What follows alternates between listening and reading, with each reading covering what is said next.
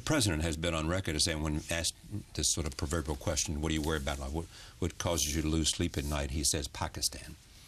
Well, that's very worrisome. And that, of course, is an extension of the Afghan problem. And it's a problem which is going to confront that region even after we are gone.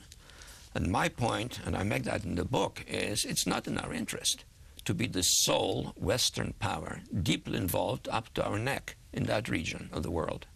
Well, he, the president's trying to shift that focus, Well, as exactly, you know. and I hope we get out.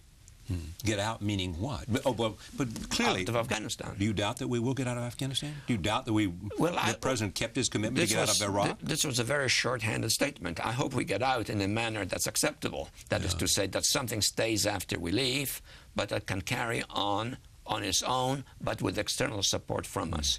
Because when the Soviets were driven out, we all turned our backs on Afghanistan, Right. And then Taliban filled the void.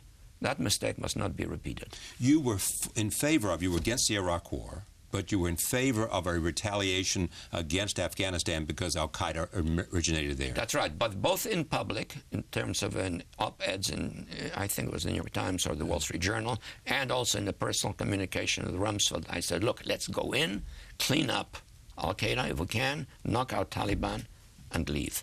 Give them economic assistance and so forth, but not get engaged in any sort of longer war to create democracy in Afghanistan.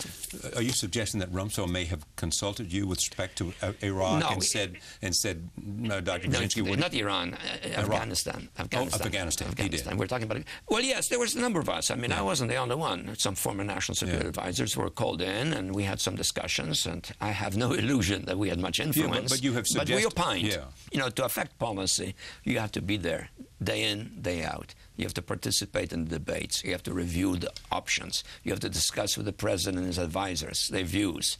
It's a totally different process than being called in for a meeting or for lunch or something like that. Join us online at charlierose.com.